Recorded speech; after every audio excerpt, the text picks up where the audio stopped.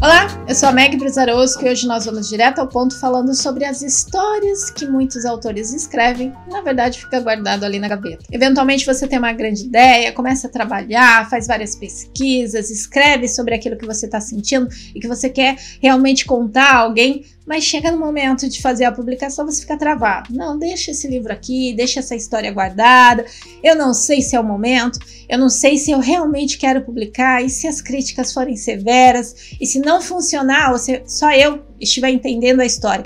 Essas são muitas questões que os autores passam. O único problema é que enquanto a história está guardada, você não consegue ter um feedback, você não sabe exatamente qual é a sua aparição, você não sabe exatamente se aquilo que você escreveu está funcionando de verdade, se as pessoas que vão receber aquela história, se elas vão ter a compreensão e vão se apaixonar como você em relação ao seu trabalho. Então, essa é a grande questão. Quando eu escrevo, desenvolvo um livro e simplesmente mantenho esse material guardado, eu não tenho a oportunidade de desenvolver ainda mais a minha escrita. Cada boa crítica recebida é um avanço que você faz na sua história. Por que boa crítica?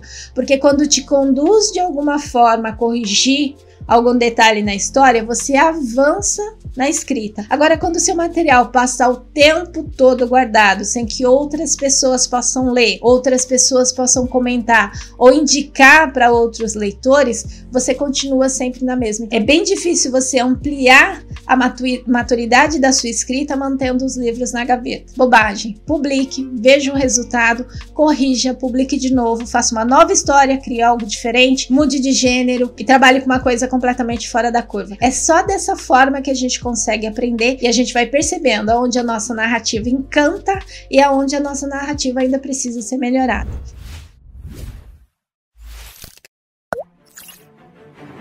Então, direto ao ponto, livros guardados acabam não te representando. A grande realidade é que você precisa soltar esse material no mundo e realmente entender o que acontece. Quer publicar sua história? Quer tirar esse material da gaveta? Então fica comigo.